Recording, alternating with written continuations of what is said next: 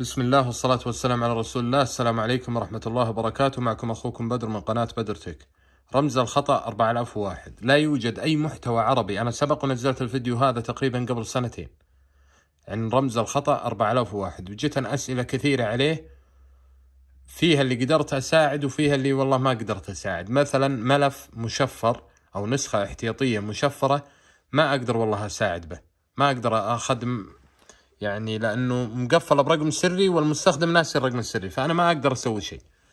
لكن ابوضح الأسباب والنصائح وطرق تجاوز رمز الخطأ 4001 بكل سهولة وسرعة. اولا البحث عن رمز الخطأ 4001 أنا أول شيء ببحث عن مسار المجلد. هو طبعا إذا جيت أنا أسوي نسخة احتياطية بال iTunes أنا سويت نسخة احتياطية وكنت مسوي أول نسخة احتياطية وجيت بسوي استعادة وطلع لي رمز الخطا 4001 هذا رقم واحد. رقم اثنين أبنقل النسخة الاحتياطيه أبنقل جوالي بيانات جوالي من جوال إلى جوال ثاني أو من آيفون إلى آيفون ثاني. فالنسخة الجديدة تحط الآيفون جنب الآيفون ينتقل على طول. أحيانا يكون يعني المعلومات اللي بالجوال كثيرة جدا وخايف وحريص إنك تنقل كامل النسخة الاحتياطية. وما أنت متأكد إذا سويت له نقل الجوال بجنب الجوال. هو بالعادة أنا سويته يعني جربته آيفون بجنب آيفون ينتقل على طول جميع البيانات بالأرقام السرية وقفل الشاشة وخلفية الجوال بكل سهولة.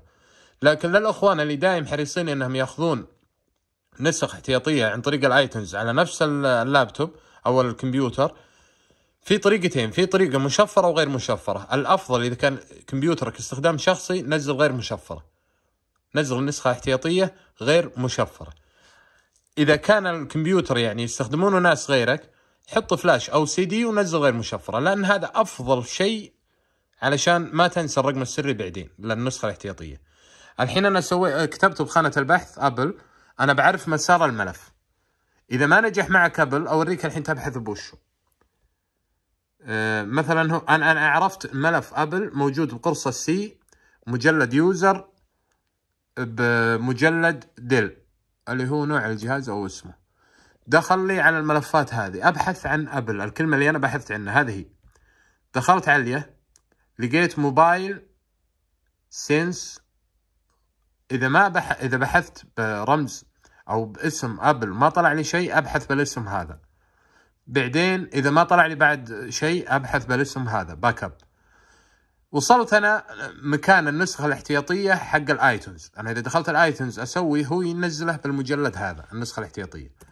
دخلت هنا لقيت ثلاث نسخ.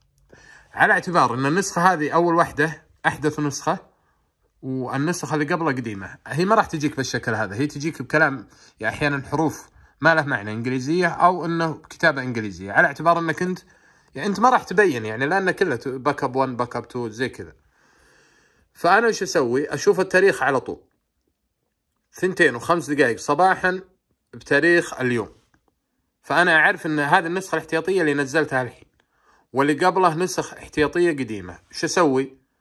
على طول كذا أحدد على النسخة الاحتياطية القديمة كليك يمين وديليت حذف أنا إذا حذفتها وين تروح؟ تروح لسله المحذوفات أروح لسلة المحذوفات وأسوي تفريغ أو إفراغ لسلة المحذوفات تشيله من الجهاز النهائي. لكن هذا أنا ما انصح أنا أنصحك إنك تأخذ النسخ القديمة وتحطها بقرص ثاني. الهدف من هذا وشو؟ أوفر مساحة كبيرة. شلون أوفر مساحة كبيرة؟ اشيلها أحطها على قرص ثاني أو بسي دي أو بفلاش ليش؟ لأنك إذا جيت تسوي استعادة أنت بتسحب النسخة هذه شبكت جوالك الجديد أو جوالك اللي فرمته تبي ترجع النسخة الاحتياطية آخر واحدة الجديدة هذه. تبي ترجعها على الجهاز. ما يقبل. ليش؟ لأنه هو already أي نسخة احتياطية تبي تسوي لها استعادة هو ياخذ نسخة جديدة وينزلها بنفس الملف. إذا ما حصل مساحة بقرصة C شو يسوي؟ يعطيك رمز الخطأ 4001 هذا هو السبب. فأنت لازم تفرغ مساحة كبيرة. يعني مثلا حجم النسخة الاحتياطية هذه 6 جيجا. لازم الملف يكون من 8 جيجا 9 جيجا وفوق.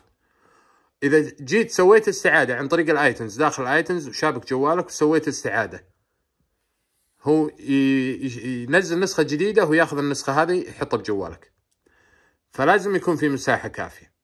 مجرد إنك توفر له المساحة الكافية ينتهي تنتهي عندك المشكلة على طول وتنزل النسخة اللي أنت بتنزلها على جوالك سواء كان القديم اللي فرمته أو الجديد بدون أي مشاكل.